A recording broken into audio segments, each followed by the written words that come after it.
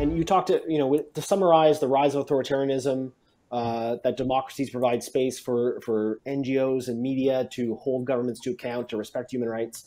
But I'm wondering right now in 2021, are, are, are Western democracies, including Canada, doing enough to ensure human rights are enshrined in their foreign policy?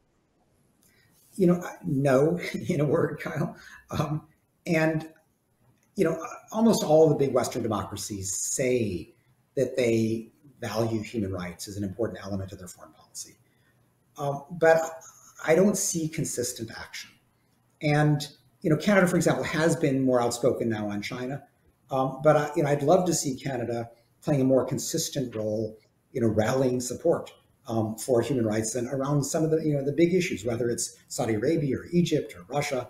Um, I can say the same thing about the European Union. I can say the same thing about the United States. I mean, you know, Biden came into power and says, you know, human rights are going to be a guiding principle. And then he makes these massive arms sales to Egypt and he, you know, meets with Putin and has this virtual summit with Xi Jinping and, and, you know, says, I talked about human rights, but we have no idea what he said. And it makes no difference whatsoever because, you know, nobody feels the heat. No, no particular issue is mentioned.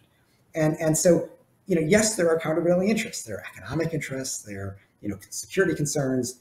But I, I fear that there are many governments that, you know, while paying lip service to human rights, are doing far less than they should to build a world where, where human rights for, you know, of people are, are safe. And um, Canada you know, has an, a, a, renewed government now. It's in a very good position to play that kind of leadership role that we've seen it play now in China.